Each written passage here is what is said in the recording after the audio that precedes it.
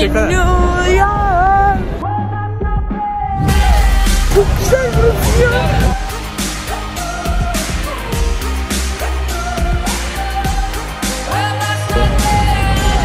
Pişman değilim.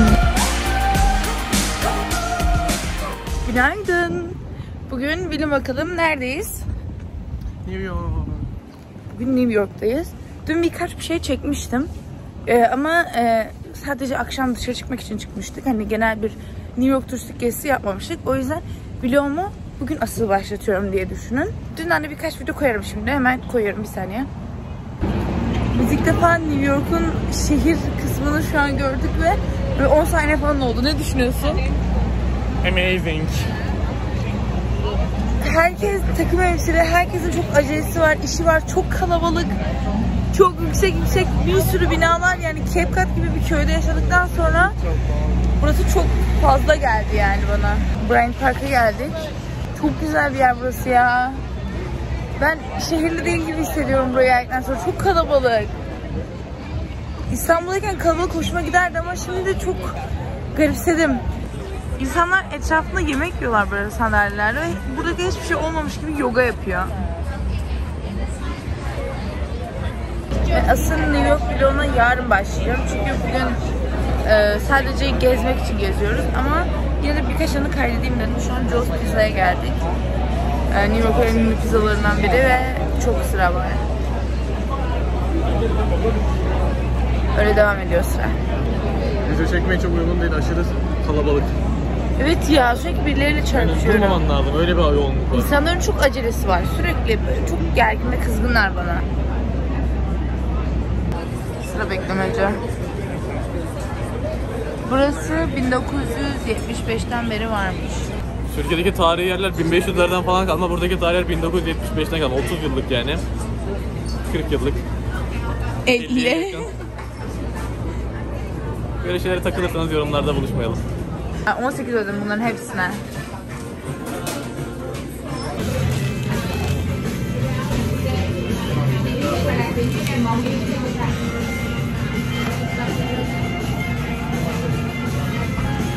Etrafı çek ünlülerin fotoğrafları var burada. Bu olay global bir Kullanma köftesi gibi ünlülerin fotoğrafları var bu arada. Gösteriyorum ama.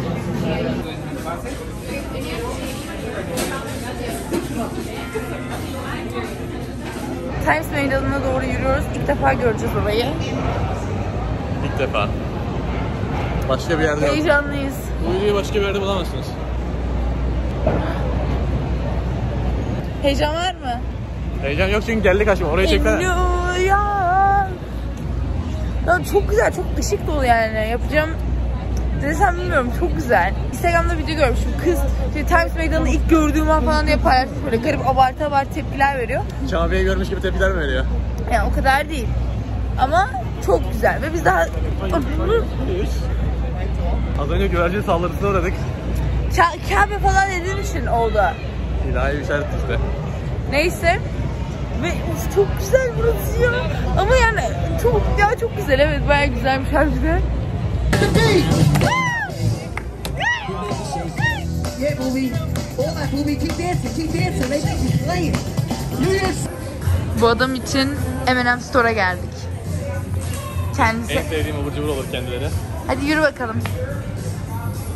Yarım poundu 9 dolar ve hani bu makineyi açıyorsun bir anda böyle şıkır şıkır dökülüyor ve hani böyle istediğin oranda ayarlayamazsan elinde kalır. Geri Bir koyamazsın. poundda 450 grama tekabül arkadaşlar. Bu da benden size. Günün genel kültürü olsun. Bir sürü var mesela. Bir sürü bölümü var. Para tuzağı diye yorumladım.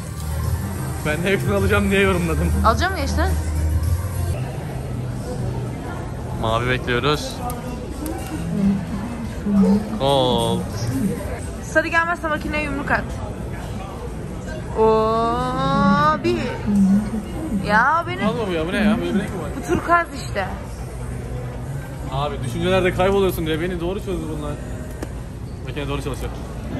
Buradaki en akıllı insanlar biz olduğumuz için ve buranın para tuzağı olduğunu düşündüğümüz için buradan alışveriş yapmamaya karar verdik. Ya da kısaca fakirim demiyor Feyda. Yani küçük bir poşete 9 dolar vermeyeceğim.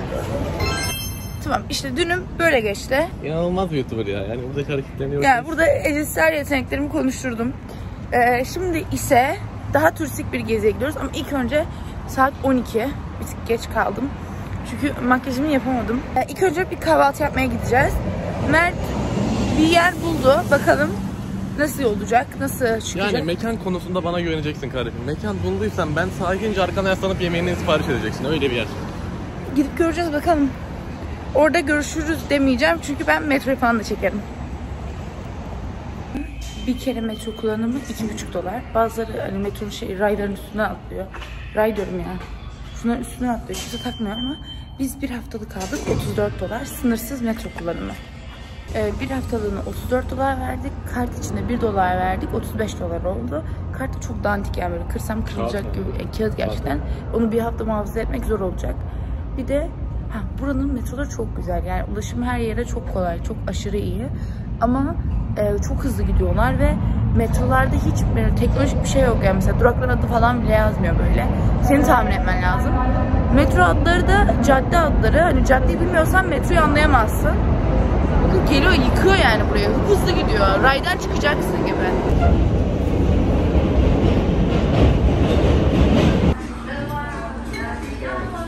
Beklemedeyim. Çok açım, çok açım, çok açım. Hemen bir mekan yorum yapabilir miyiz orada? Ambiyans olarak. Gayet güzel. Efsanevi bir şey bu ya. Bayıldım, bayıldım. Böyle tuttu. Ve şu terakottan Apple Pay'li ödeyebiliyorsun. Çok güzel özel.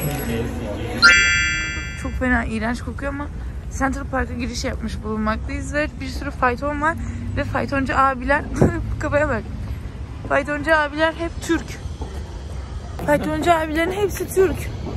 Şaşırttı mı? Şaşırtma abi bu. Zırtıyı da sarmaz.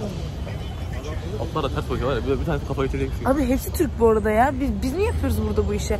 Çünkü ben millete hava attım. İşte İstanbul'da fayton yok, atlara zarar veriyor. Vesaire falan. İstanbul'daki atlara sen.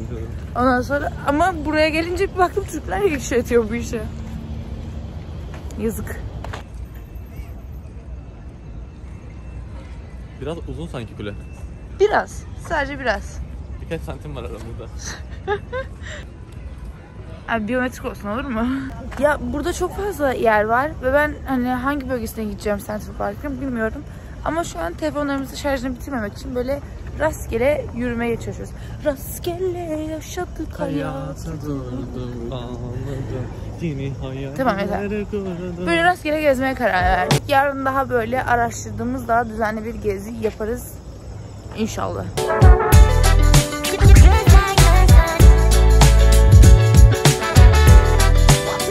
Rastgele dediğimizde de bakmayın böyle karşımıza çıkıyor bir şeyler. Şimdi mesela kocaman bir kayaya çıkacağız.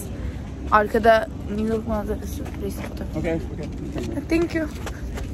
Orada bir fotoğraf çekeceğiz bakalım. Bakın arkamız binalar. Biraz da climbing yani. İşte geldik. Bakayım. Evet geldik. Beni çekiyorsun. Şöyle abla gibi hemen pozlarımızı verelim. Fotoğraflarımızı çekelim. Instagram'ımıza atalım. Beni şöyle çek Bilal'e. Tamam. Fotoğraflarımızı çekildik ve gidiyoruz. Fotoğraflarımızı çekildik. Artık Instagram'a gider. Beğenirseniz Allah hepinizden razı olsun. Central Park görüşümüze Çekilişi devam fotoğrafları beğenen bir kişi bir de yemeğe çıkma hakkı kazanacak. Gift shop mı? Gidelim ya pahalılar. Bakalım görelim ne var ne satıyorlar. İyi tamam gidelim.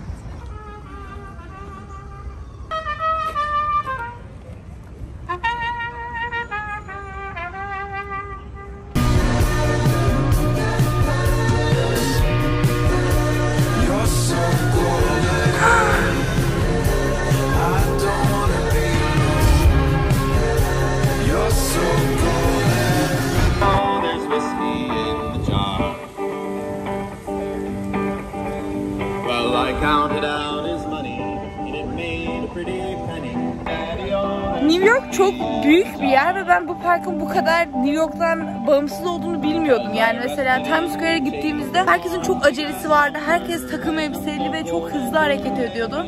Burada çok farklı bir hayat var. Millet bisiklet biniyor, koşuyor, fayton var. Adalara gelmiş gibi hissediyorum. Farklı bir şehirdeymişim gibi hissediyorum. Çok farklı iki dünya oluşturmuşlar bir şehrin içinde ve bu çok etkileyici. Ve git git bitmiyor. Sürekli bir şeyle karşılaşıyoruz. Ve yolumuzu bilmeden yürüyoruz. Gitmemiz gereken her yere de varıyoruz bir şekilde. Çok mutluyum şu an burada olmaktan.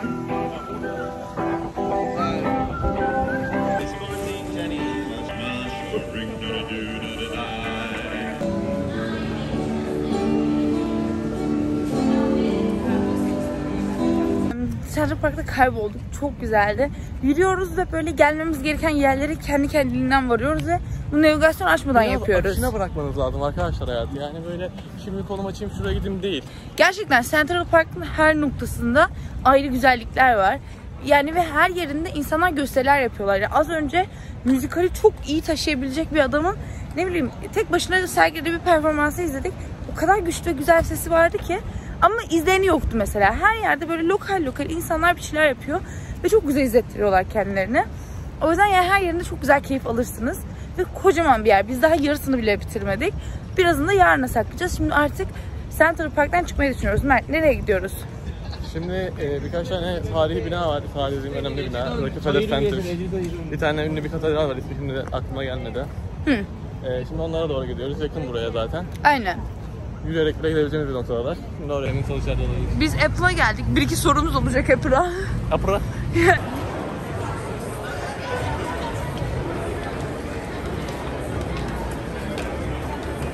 Abi dışarıda duymuyorum an ama şeytan diyor ki al şu ödü. Şu kulluk ama kulak. Bir şey diyeceğim yanıma bak müzik açtım yanıma bomba atsalar duymam yani anladın mı? Ben de duymuyorum. Senin çığlıklarını duyuyorum belki o kadar. Ben, ben seni de duymuyorum. Müzik çalıyor mu şu an sende? Hayır bas sesi duyuyorum. Müzik aç.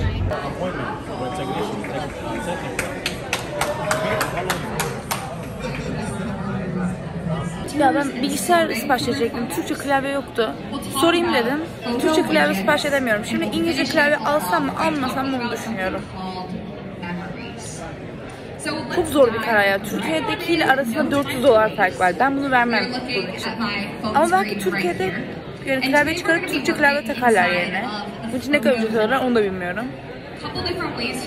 Almasam mı bilemedim ama yani MacBook'da olsun ya. Olmasın ya. Gittik ya. Mert sen ne düşünüyorsun? İngilizce klavye almalı mıyım? Alıyorum o zaman. Mert beni ikna etti şu an. photos and videos of this, maybe I need to get more specific. I just got back from vacation, so maybe I'll add a location. In that way, İyi gidiyorsun. Devam et. Yarın iPhone 15 çıkıyor. Biz biz ön sipariş yapacaktık. Ben yapacaktım yani. Mert dedi ki ekstra para olur ön sipariş. Çünkü hani senin için ekstra bir şey yapıyorlar. Mantıklı da geldi ama ben ön sipariş parasız olduğunu biliyorum. Ön siparişi vermedim. Sonra vereceğimiz zaman da Mert dedim ki ben vereceğim ya Bir şey dedim. diyeceğim. Sonra Baktım. bu arada gördük. yani Bir şey diyeceğim. Olayları hep beni suçlayacak şekilde anlatıyorsun. Sonra baktık gerçekten fiyat fark demiş. Ben tamam, tamam haklısın hata yapmışım dedim. Ama ön sipariş edebilirdik. Feyza iki gün boyunca renklerine karar verdi hangi renk söylesem diye. Düşünsene, o kadar bin küsur dolar veriyorum yani. Ondan sonra renklere karar veremeyince iki gün bekledi renklere karar vereceğim. Bana süre ver, bana süre ver diye. En sonunda rengi kalmadı. Şey, telefon kalmadı. Pişman değilim. Yarın 8'de Apple'ın kapısının önünde buluşacağız. O doğal titanyum rengini alacağım. Düşer aklıma bomboş.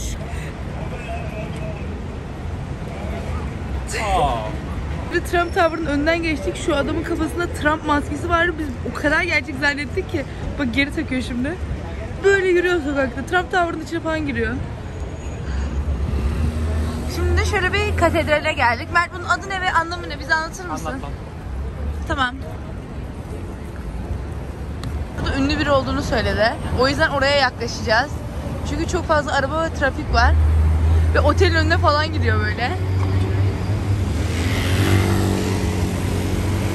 Ve otelin önünde güvenlik falan var. Ya bekleyemedik ya. Böyle arabalar geçip gitti falan hatta yani yayalara izin vardı ama o arabalar o kadar hani aceleleri var ki ve hani önemli biri ki herhalde yayaların hakkını falan kullanıp arabayla geçmeye devam ettiler yani. Ve şu an burada hani Burberry'ler, Koçlar, Rolex falan böyle oldu, olan bir sokaktayız. Yani güzel bir otel. Hayvan bölgesi. Aynen. Ondan sonra yani kimse aşırı merak etti kim olduğunu ama maalesef ki biz gidiyoruz. Şu marka Sabret her yerde var. Yani şu ana kadar 20-30 tane görmüşüzdür. Bazen 5, 5 tane yan yana var. Her gördüğümde Sabret şarkısını söylemeye başlıyorum. Mert de bundan çok keyif almıyor. İçimiz bayıldı ya. Şöyle devasa bir yere geldik. Bunun daha sağında falan da var yani. Çok çok çok çok büyük bir yer. Burada elimize kahve masasını sıkıntı yatır mı? Burası fazla büyük.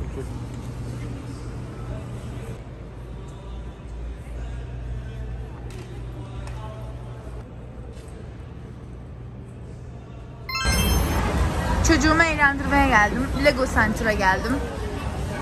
Kendisi Lego, yapmayı çok sever. Ama çok pahalı ya. Çok kızık. Biliyorum saçma gelecek ama New York'un havası bana asla yaramadı. Metrolarında bir şey var. Bilmiyorum ot kokusu mu? Kafama vuruyor ve direkt uykum geliyor. Şu an başarısından deliriyorum. Böyle salak gibiyim yani. Böyle nereye çekseniz oraya gelecek gibiyim yani. Ara ara bir çimen gibi bir koku alıyorum. Bir arkadaşım bunun ot kokusu olduğunu söylemişti. Ben de bilmiyordum bunu. Şimdi bu, o kokuyu sürekli her yerde kokluyorum. Geliyor çünkü burnuma. Sonra bakıyorum yanımda insanlar sigara içiyor. Yani demek ki ot içiyorlar oluyor. Ondan sonra bilmiyorum hani etkilenebilir mi bir insan ya da belki de psikolojik. Yani başım çok kötü. Bir, de çok da açım. Yemek de yemem lazım ama ilk önce 7'de kapanan bir ayakkabıcı var. Ee, kendimize Jordan almak istiyoruz. Ondan sonra e, oraya gidiyoruz şimdi. Enerjimizi topladık, motiveyiz. Sorun değil. Tatilde olur böyle şeyler. Orada görüşürüz. Burası Flight Club diye bir yer. Böyle.